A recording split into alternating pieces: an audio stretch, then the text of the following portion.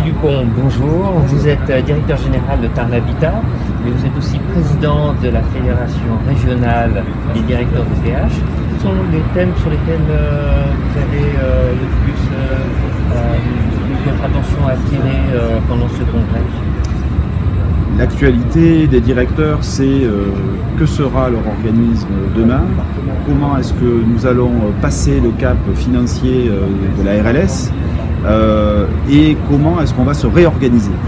Et dans la réorganisation, euh, entre des organismes, aujourd'hui les directeurs généraux se cherchent, déjà en tant que manager demain euh, d'un organisme au sein d'un groupe, en tant que manager de leur troupe, sur les questions qui concernent plusieurs organismes, et puis sur la gestion d'une société de coordination, par exemple. Aujourd'hui, il n'y a pas de directeur de société de coordination de quelles ressources allons-nous disposer, comment allons-nous travailler ensemble pour euh, faire en sorte de, passer le cap de cette révolution organisationnelle? D'accord.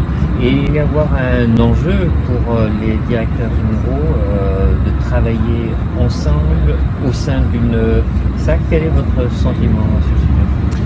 Ce qui fera la différence, c'est la qualité des relations interpersonnelles c'est absolument indispensable qu'elle soit de bon niveau, mais ça ne suffit pas. Il faut qu'elle soit étayée par euh, des objectifs qui soient communs, qui soient partagés, et euh, avec un traitement qui paraisse juste au directeur de chacun des organismes.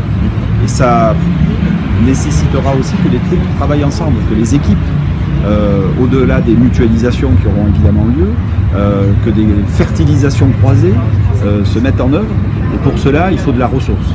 Et c'est sur ces sujets-là qu'aujourd'hui, il n'y a pas euh, d'offres organisées, d'ingénierie de la ressource, des directeurs, si j'ose dire, de demain, qu'on est en train de bâtir en ce moment.